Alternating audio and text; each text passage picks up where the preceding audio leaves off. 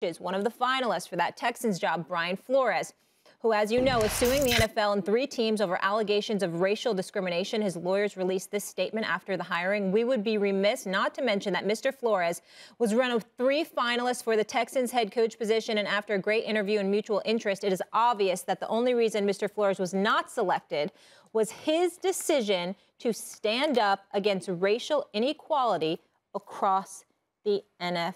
L. Strong accusation there. Stephen A., your reaction to all of this and those hirings? Well, listen, um, Dennis Allen has been under Sean Payton for a while, and he was always considered the guy uh, that was going to be the next head coach for the New Orleans Saints unless he got a job somewhere else. And it's hard to dismiss that, and it's hard to, um, you know, speak negatively about that. Lovie Smith, I'm happy he's getting a second chance, even though you know, he's coached for two years in Tampa. He coached in Chicago, so it's really a third chance.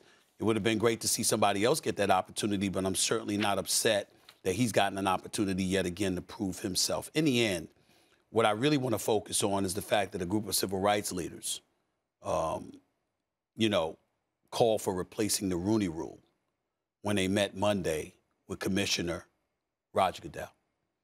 What we have to remember and what people have to pay attention to is that there's inequality that is being exercised in the National Football League in the year 2022. You know, on so many occasions as a society, we look at things and we say, aren't we getting better? Isn't it not what isn't it different than what it used to be in a very positive way? Regardless of the trials and tribulations that we experience as a nation, there's a lot of credence to that argument in a lot of different ways, not when it comes to the NFL.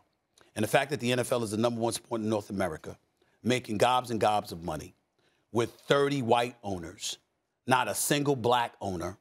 And on top of it all, you have owners literally ignoring a rule that they okayed implementation of in 2003. And 19 years later, you are clearly taking a step backward, and they don't seem to give a damn.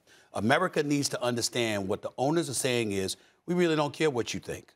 We're making money. We're going to continue to make money because y'all ain't going nowhere. So y'all can make all the noise y'all want because we're going to still live fat and happy.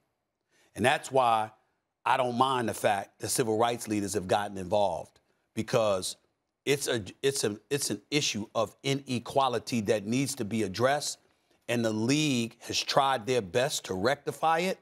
But clearly, the strong arm that they have ain't strong enough to yeah. influence the owners they work for. And so to me, this is the first step. And as far as I'm concerned, if it doesn't change, I wouldn't be opposed to government intervention to bring attention to the level of inequality yeah. that NFL owners are exercising. Yeah, because not only was it not working, when it comes to black it, it was actually regressing. Yes. Yes. And I just want to mention quickly, there's one vacancy left. That would be, we think Kevin O'Connell will be hired by the Vikings. Obviously, he's coaching in the Super Bowl, and we'll ask Justin Jefferson, who will be with us uh, in just a bit, about his potential new head coach.